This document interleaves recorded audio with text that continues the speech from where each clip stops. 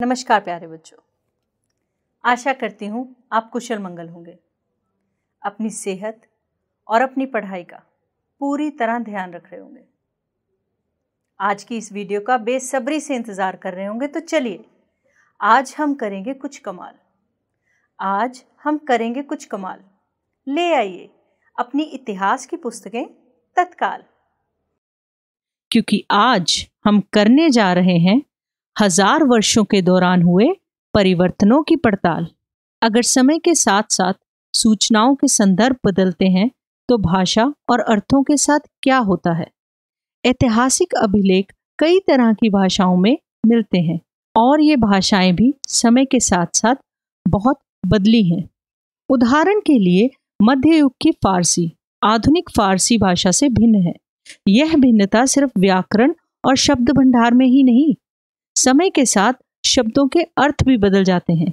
उदाहरण के लिए, हिंदुस्तान शब्द ही लीजिए। आज हम इसे आधुनिक राष्ट्र राज्य भारत के अर्थ में लेते हैं। तेरहवीं सदी में जब फारसी के इतिहासकार मिनहाज ए सिराज ने हिंदुस्तान शब्द का प्रयोग किया था तो उसका आशय पंजाब, हरियाणा और गंगा यमुना के बीच में स्थित इलाकों से था। उसने इस शब्द का राजनीतिक अर्थ में उन इलाकों के लिए इस्तेमाल किया जो दिल्ली के सुल्तान के अधिकार क्षेत्र में आते थे।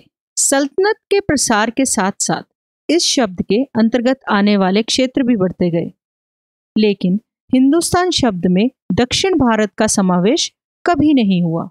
इसके विपरीत सोलहवीं सदी के आरंभ में बाबर ने हिंदुस्तान शब्द का प्रयोग इस उपमहाद्वीप के भूगोल, पशु पक्षियों और यहाँ के निवासियों की संस्कृति का वर्णन करने के लिए किया।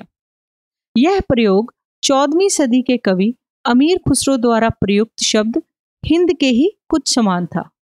मगर जहाँ भारत को एक भौगोलिक और सांस्कृतिक सत्व के रूप में पहचाना जा रहा था, वहाँ हिंदुस्तान शब्द से वे राजनीतिक और राष्ट्रीय अर्थ नहीं जुड़े थे, जो हम आज जोड़ते हैं।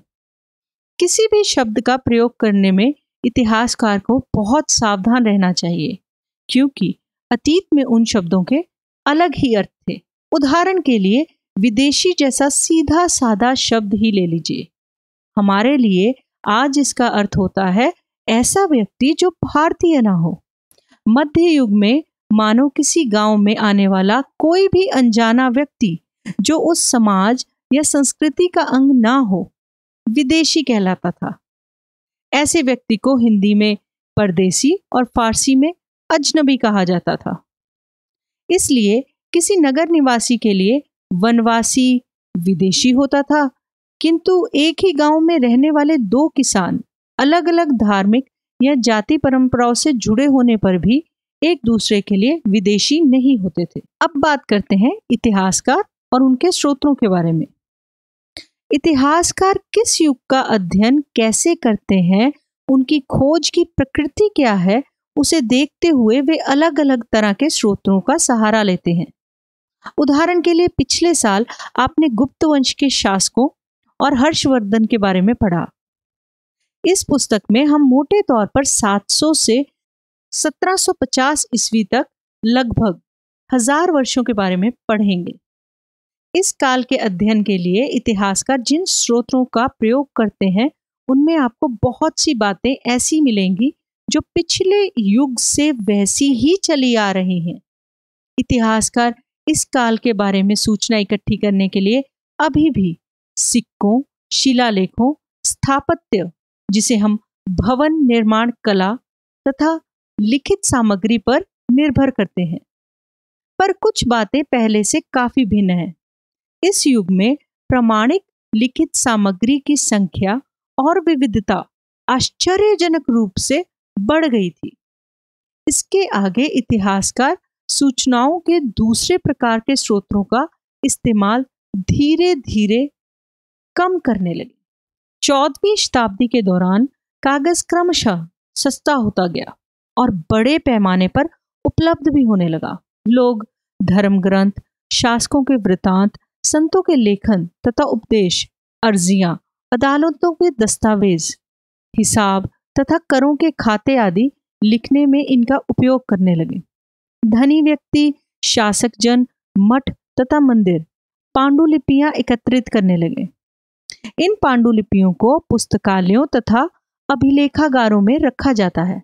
इन पांडुलिपियों तथा दस्तावेजों से इतिहासकार को बहुत सारी विस्तृत जानकारी मिलती है। मगर साथ ही इनका उपयोग कठिन है। उन दिनों छापे खाने तो थे नहीं, इसलिए लिपिक या नकल नवीस हाथ से ही पांडुलिपियों की प्रतिकृति बनाते थे। अगर आपने कभी किसी मित्र के गृह कार्य की नकल उतारी है तो आप जानते होंगे कि यह काम आसान नहीं है। कभी कभी आपको अपने मित्र की लिखावट समझ में नहीं आती होगी और आपको मजबूर होकर अंदाज ही लगाना पड़ता होगा कि क्या लिखा गया है। फलस्वरूप, आपके लिखे हुए में, आपके मित्र से लिखे हुए से कुछ छोटे मोटे परंतु महत्वपूर्ण अंतर आ जाते होंगे। पांडुलिपि की प्रतिलिपि बनाने में भी कुछ कुछ यही होता है। प्रतिलिपियाँ बनाते हुए लिपिक छोटे मोटे फेरबदल करते चलते थे। कहीं कोई शब्द, कहीं कोई वाक्य, सदी दर सदी प्रतिलिपियों की प्रतिलिपियाँ बनती रहीं और अंततः एक ही मूल ग्रंथ की भिन्न भिन्न प्रतिलिपियाँ एक दूसरे से बहुत ही अलग हो गई। इससे बड़ी गंभीर समस्या उत्पन्न हो गई क्योंकि आज हमें लेखक की मूल पांडुलिपि शायद ही कहीं मिलती है। हमें बाद के लिपिकों द्वारा बनाई गई प्रतिलिपियों पर ही पूरी तरह निर्भर रहना पड़ता है। इसलिए इस बात का अंदाज लगाने के लिए कि मूलतः लेखक ने क्या लिखा था, इतिहासकारों को एक ही ग्रंथ की विभिन्न प्रतिलिपियों का अध्ययन करना पड़ता है। कई बार लेखक स्वयं ही समय समय पर अपने मूल वृतांत में संशोधन करते रहते हैं। चौदहवीं शताब्दी के इतिहासकार जियाउद्दीन बर्नी ने अपना वृतांत पहली बार तेरह में और दूसरी बार इसके दो वर्ष बाद मतलब तेरह में लिखा। दोनों में अंतर है, लेकिन 1971 तक इतिहासकारों को पहली बार वाले वृतांत की जानकारी ही नहीं थी। यह पुस्तकालयों के विशाल संग्रहों में कहीं दबी पड़ी रह गई। अब बात करेंगे नए सामाजिक और राजनीतिक समूहों के बारे में। सन 700 और 1750 के बीच के हज़ार वर्षों का अध्ययन इतिहासकारों के आगे भारी चुनौती रखता है। मुख्य रूप से इसलिए कि इस पूरे काल में बड़े पैमाने पर और अनेक तरह के परिवर्तन हुए। इस काल में अलग अलग समय पर नई प्रौद्योगिकी के दर्शन होते थे, जैसे सिंचाई में रहट, कताई में चरखे और युद्ध में बारूद वाले हथियार। इनका इस्तेमाल होता था। इस उपमहाद्वीप में नई तरह का खान पान भी आया, आलू, मक्का, मिर्च, चाय और कॉफ़ी। ध्यान रखें कि ये तमाम परिवर्तन नई प्रौद्योगिकियाँ और फ़सलें उन लोगों के साथ आए जो नए विचार भी लेकर आए थे। परिणाम स्वरूप यह काल आर्थिक, राजनीतिक, सामाजिक और सांस्कृतिक परिवर्तनों का भी काल कहा जाता है। इस युग में लोगों की गतिशीलता एक स्थान से दूसरे स्थान पर आना जाना भी बहुत बढ़ गया था। अवसर की तलाश में लोगों के झुंडों के झुंड दूर दूर की यात्राएँ करने लगे थे।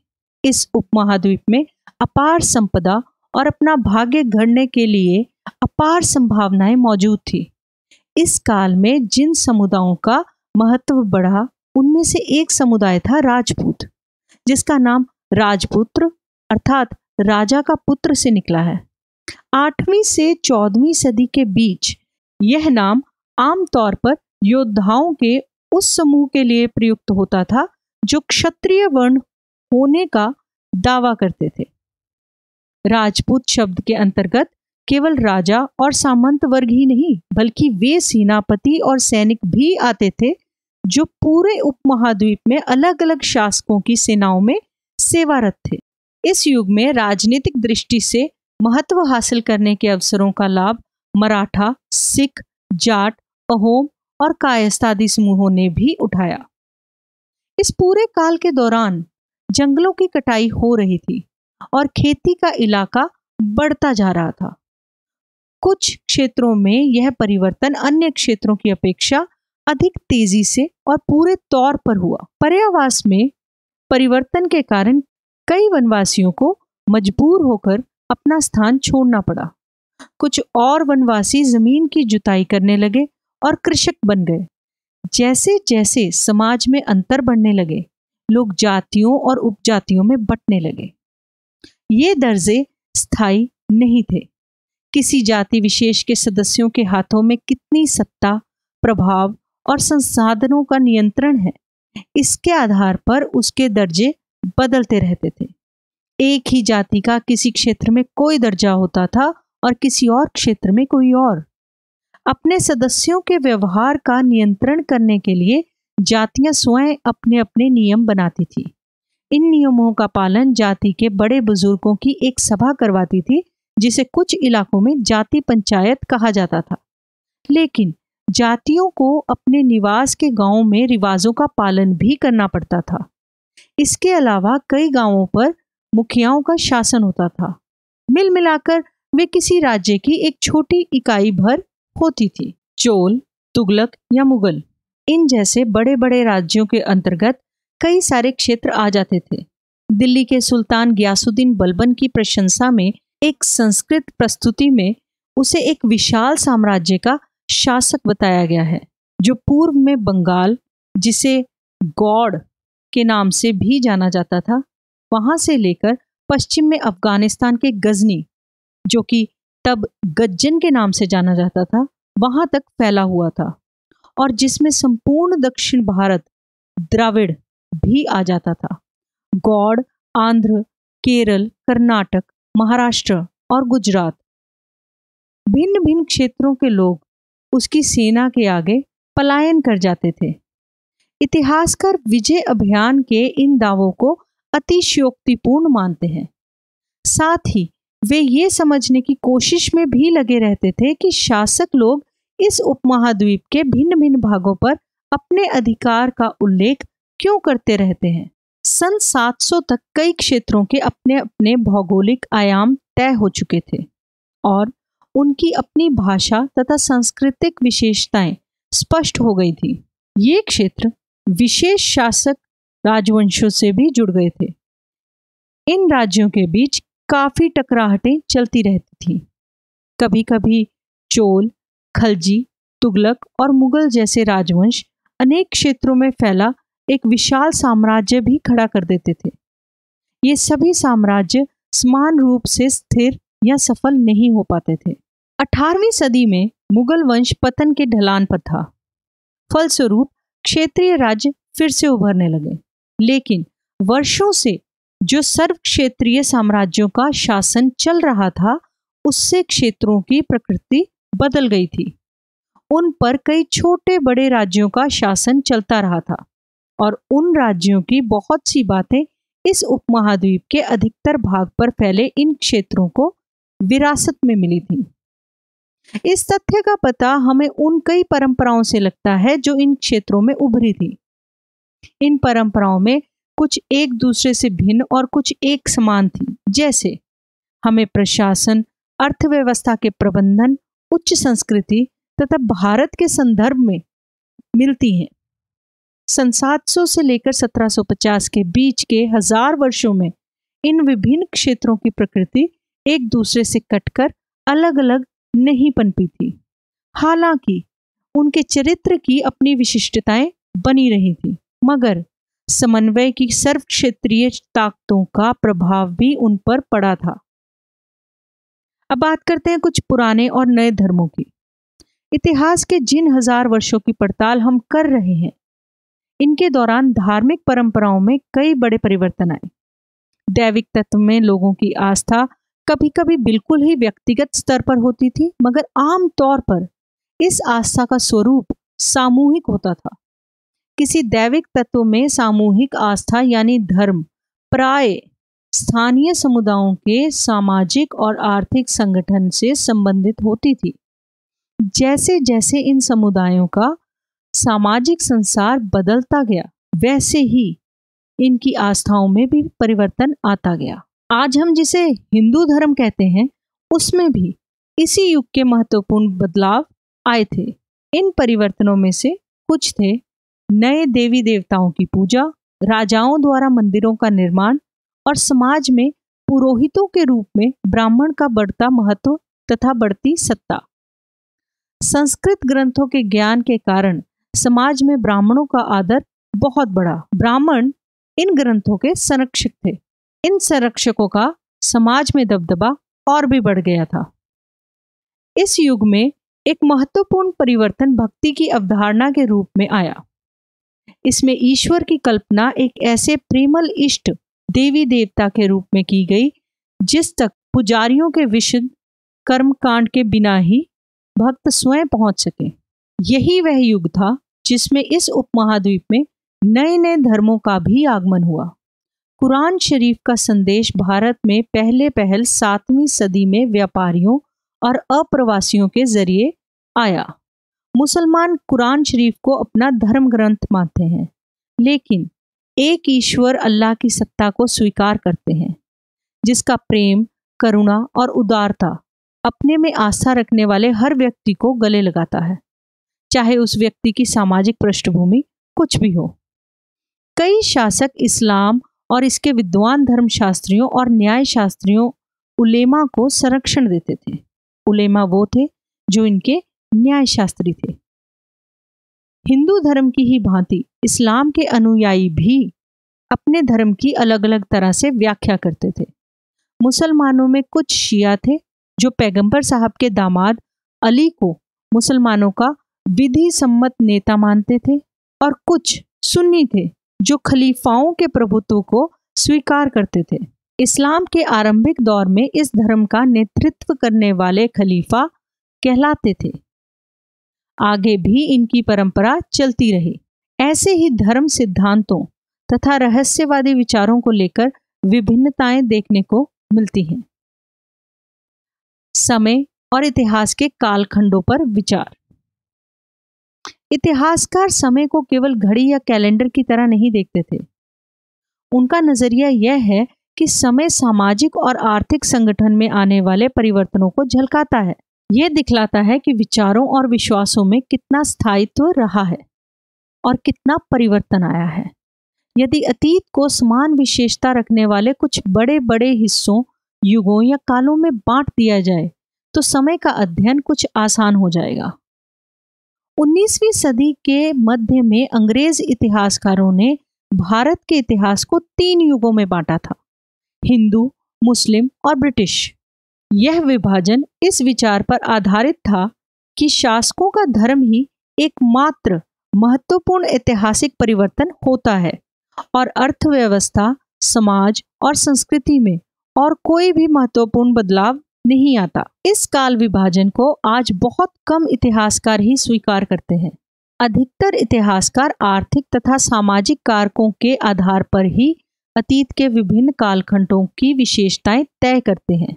पिछले साल आपने जो इतिहास पढ़े थे, उनमें प्राचीन समाजों के कई प्रकारों का समावेश था, जैसे शिकारी संग्राहक, प्रारंभिक दौर के कृषिकर्मी, शहरों और गाँवों के निवासी और प्रारंभिक दौर के राज्य और साम्राज्य। इस साल आप जो इतिहास पढ़ेंगे, उसे प्राय मध्यकालीन इतिहास कहा जाता है। इसमें आपको कृषक, समाजों के विस्तार, क्षेत्रीय और साम्राज्य राज्यों में उदय कभी कभी तो ग्रामवासियों और वनवासियों की कीमत पर प्रधान धर्मों के रूप में हिंदू धर्म, इस्लाम धर्म के विकास और यूरोप से व्यापारी कंपनियों के आगमन के बारे में और विस्तार से जानकारी मिलेगी।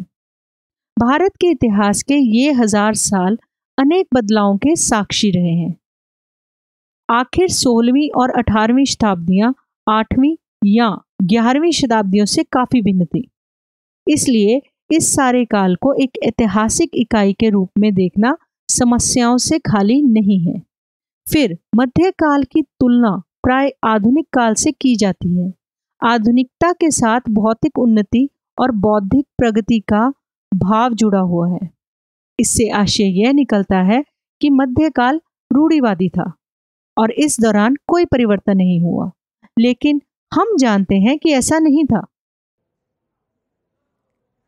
हमारे वर्तमान के सवालों के जवाब हमारे अतीत में छुपे होते हैं। आशा करती हूँ आज के इस अध्याय में आपको अतीत के कुछ सवालों के जवाब मिल गए होंगे। अब जब सवाल और जवाब की बात हो ही रही है तो चलिए जानते हैं आज के अध्याय में आपने क्या सीखा। तो बताइए। प्राचीन काल में हम विदेशी किसे कहते थे? कोई भी अनजान व्यक्ति जो संस्कृति और समाज का अंग ना होता था, उसे विदेशी कहा जाता था। अच्छा बताइए अंग्रेज़ी इतिहासकारों ने भारत के इतिहास को कौन से तीन युगों में बांटा था? बिल्कुल सही। हिंदू, मुस्लिम और ब्रिटिश। अब मैं कुछ वाक्य पढ़ूँगी। आपने मुझे बताना है क्या ये सही है या गलत? सन 700 के बाद के काल के संबंध में अभिलेख नहीं मिलते हैं। बिल्कुल सही। इस काल के दौरान मराठों ने अपने राजनीतिक महत्व की स्थापना की। ये भी बिल्कुल ठीक है। कृषि केंद्रित बस्तियों के विस्तार के साथ कभी कभी वन निवासी अपनी ज़मीन से उखाड़ बहा दिए जाते थे। बिल्कुल सही। अब आखिरी। सुल्तान ग्यासुद्दीन बलबन असम मणिपुर तथा कश्मीर का शासक था। गलत जवाब। अब हम कुछ रिक्त स्थानों की पूर्ति करेंगे। तो बताइए, अभिलेखागारों में क्या रखे जाते थे? अभिलेखागारों में पांडुलिपियाँ और दस्तावेज़ रखे जाते थे। खालिस्तान चौदहवीं सदी का एक इतिहासकार था। जियाउद्दीन बर्नी चौदहवीं सदी का एक इतिहासकार था। इस उपमहाद्वीप की मुख्य फ़सलें कौन सी थी? आलू, मक्का और मिर्च। इस उपमहाद्वीप की मुख्य फ़सलें थीं। इसी के साथ हमारा आज का अध्याय समाप्त होता है। हम जल्द ही वापस आएँगे एक नए अध्याय के साथ। तब तक के लिए स्वस्थ रहिए, सुरक्षित रहिए तथा पढ़ते रहिए। नमस्कार।